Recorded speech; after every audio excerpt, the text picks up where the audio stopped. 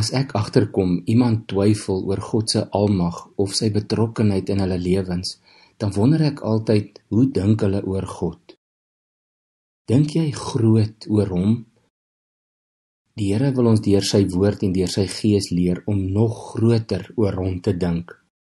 In die nuwe direkte vertaling in Jesaja 40 vers 26 staan daar: Kyk boontoe en sien, wie het hierdie dinge geskep? Dit is hy wat die hemelse leer een vir een uitlei. Hulle almal op die naam roep.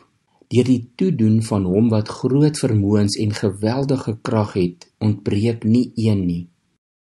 En wat Jesaja daar probeer sê is dat amper asof die Here elke aand al die sterre uitmarseer en nie van een van hulle vergeet nie. Nou wanneer mens hieroor gaan oplees, dan kom jy agter Die wetenskaplikes en sterrekundiges word byna daagliks verstom deur die grootte van die heelal en selfs deur die ontdekking van nuwe sterrestelsels. Nou ek persoonlik dink die heelal is oneindig groot, maar wetenskaplikes wil graag iets meet. En volgens die nuutste berekening is die afstand van die heelal as daar nou 'n punt kon wees van die een punt tot die ander een 92 biljoen ligjare. En dit is somme wat ver bo ons begrip is, want 'n ligjaar is 9,46 triljoen kilometer. 'n Gewone sakrekenaar kan nie eers daai somme maak nie. Nou kom ons bring dit bietjie nader na die aarde toe. Selfs die grootte van ons planeet is al verstommend.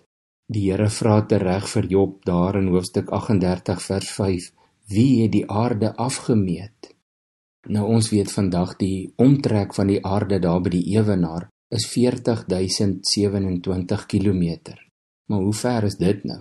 Nou as jy die somme gaan maak, as jy met 'n motor om die ewenaar sou kon ry teen 'n gemiddelde spoed van 100 km per uur en jy stop nooit nie, dan sou jy amper vir 17 dae aan een moes ry om een keer reg rondom die aarde te ry.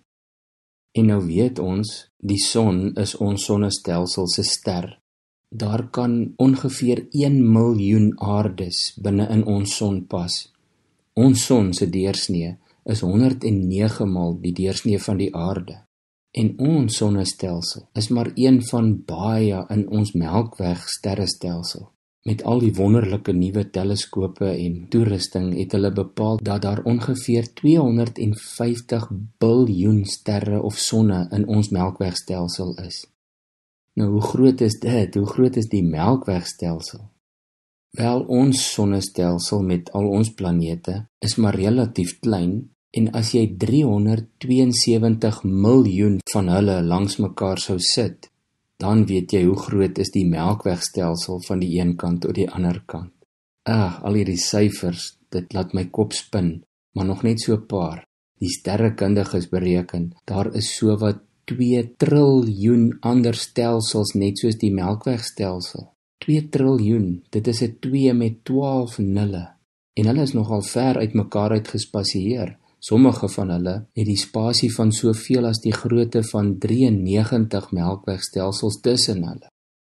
Gaan kyk maar weer een aand buite na die sterre en dan dink jy aan Psalm 8, daar waar Dawid in vers 4 en 5 tot die Here bid en sê: As ek u hemel aanskou, die werk van u vingers, die maan en die sterre waaraan u 'n plek gegee het, wat is die mens dan dat u aan hom dink?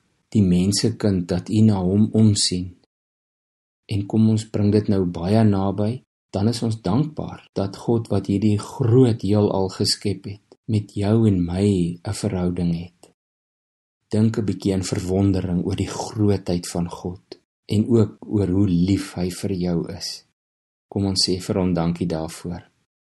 Here, U het die heelal geskep en dis oneindig groot ver bo ons denke maar dit laat my in verwondering as ek net dink aan elke planeet en ster en sterrestelsel. En soos Dawid gesê het dit is die werk van u vingers.